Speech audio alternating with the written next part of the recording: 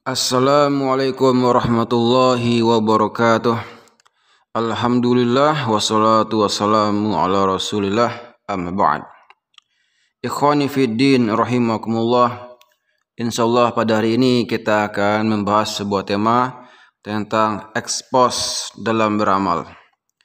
Dari Ibrahim bin Isa dari Abdullah bin Mas'ud radhiyallahu an yang mengatakan, "Jadilah kalian sumber-sumber ilmu pelita petunjuk, penerang malam hari, hati yang baru atau bagus, dan pakaian usang yang tak mencolok. Kalian dikenali para penghuni langit, namun kalian tak dikenal para penghuni bumi. Sifatul Sofwah adalah Ibnul Mubarak, seorang yang tak suka mengekspos perbuatannya karena ketika amal soleh secara vulgar dipamerkan akan bisa merusak keikhlasan. Suatu saat dia melunasi hutang seorang pemuda senilai 10 ribu dirham tanpa diketahui si pemilik hutang. Abduh bin Sulaiman Al-Hawarzi berkata, kami bersama Abdullah bin Mubarak dalam suatu detasesmen pasukan wilayah Romawi. Kemudian kami berhadapan dengan musuh Ketika kedua pasukan berhadap-hadapan, ada seorang dari pihak musuh yang maju ke depan, menentang duel satu lawan satu. Setiap orang yang melawannya dapat dibunuhnya. Kemudian, ada seorang dari pasukan muslimin yang keluar menghadapinya dan berhasil membunuh prajurit yang tadinya tangguh itu. Maka orang-orang berhamburan menghampiri prajurit tadi, ya, yang dapat membunuh prajurit musuh yang tangguh itu yang ternyata dia menutupi mukanya dengan kain. Aku termasuk orang yang ikut berkerumun. Setelah kain lengannya dapat kusingkap, ternyata dia adalah Abdullah bin Al-Mubarak. Maka dia mengatakan kepadaku, Engkau wahai Abu Amr adalah orang yang telah membuka aibku. Dua teladan nyata di atas mengindikasikan bahwa menyembunyikan amalan di hadapan manusia merupakan langkah cerdas dalam menghadapi ria ya. Dalam menghindari ria atau menjauhi popularitas agar dipuji manusia.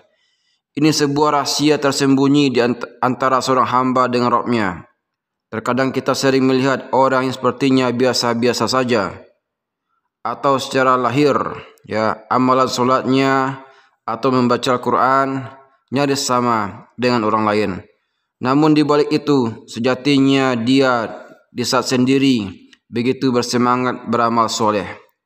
Faktor keikhlasan dan niat yang harusnya keridhaan Allah yang dicari.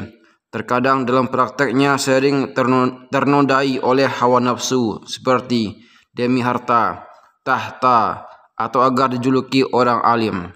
Di sinilah perlu sinkron antara hati yang ikhlas karena Allah dengan amalan zohir yang dilakukannya.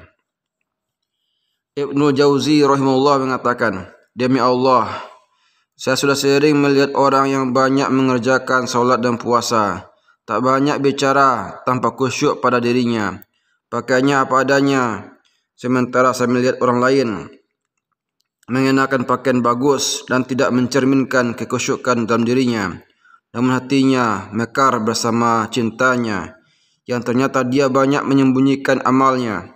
Maka siapa yang membaguskan amal-amal yang disembunyikan, tentu dia akan menemui, dia akan menuai kemuliaan Allah. Ya. Dan Allah akan dan Allah akan menundukkan hati manusia lainnya karena kebaikan dirinya. Demi Allah, itu semua sesungguhnya ada pada rahasia-rahasia amal.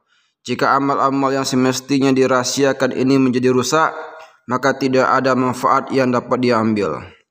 Suhaidul Khotir Ibnul Jauzi Sebagai hamba Allah tentunya kita ingin yang terbaik dalam beramal. Amal soleh atau ibadah yang termasuk siar Islam. Maka itu perlu ditampakkan. Contohnya, solat berjamaah di masjid bagi kaum laki-laki. Solat id, menyembelih hewan kurban, dan ibadah lainnya yang memang ada dalilnya perlu dilakukan terang-terangan dan kunci sukses agar amal amal tak sia-sia tak lain adalah ikhlas ketika sendirian, lebih-lebih ketika di hadapan manusia. Semoga bermanfaat. Wassalamualaikum warahmatullahi wabarakatuh.